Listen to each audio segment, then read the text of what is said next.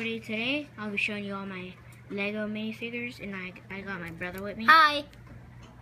And you can pause it right here. And I got this guy, he's from Harry Potter, my first Lego set. I got this girl from Gal Guardians of the Galaxy. I got two Ninja Turtles and uh, Raph's shell. This is Michelangelo, this is Raphael. They're from the movie.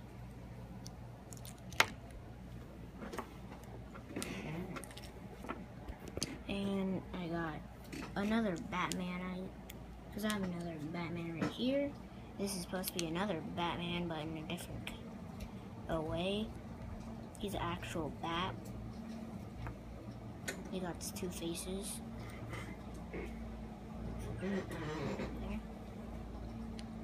He has his helmet that has his ears.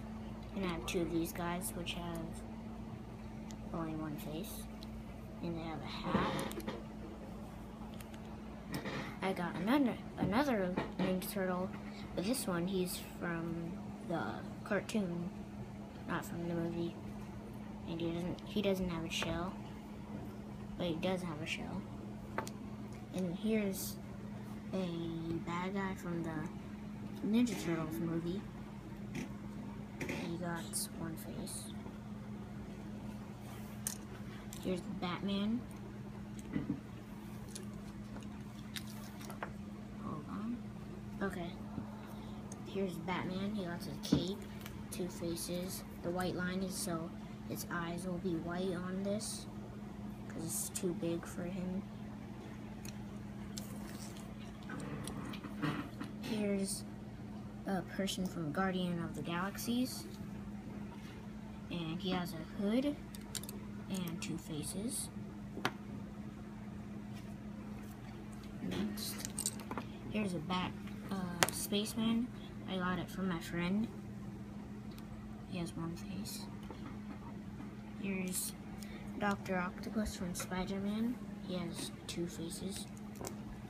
And he got the tentacles, but I don't have them right now. And here's a Star Wars trooper. He has one face. Here's a helmet. And two people left.